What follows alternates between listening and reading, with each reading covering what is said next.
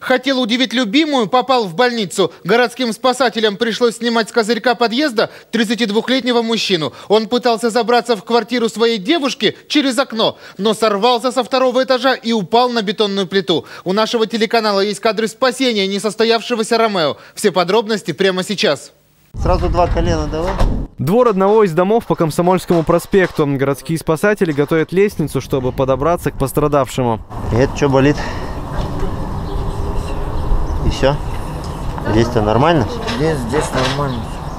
По предварительному заключению мужчины перелом голени, травму получил, упав с высоты второго этажа. Прибывшие на помощь медики подобраться к нему не смогли. Ты откуда падал-то? С какой высоты? Вот с этого окна. Мужчина рассказал, он хотел забраться в квартиру своей знакомой через окно на кухне, но сорвался вниз. Ну что вот так вот через трубу его сейчас спустим, да и все. Что тут лукаво мудрствовать? Городские спасатели достали альпинистское снаряжение и с помощью веревок спустили пострадавшего с козырька подъезда. Забирай. Спецоперация спасения заняла всего пару минут. Несостоявшегося альпиниста передали врачам скорой помощи.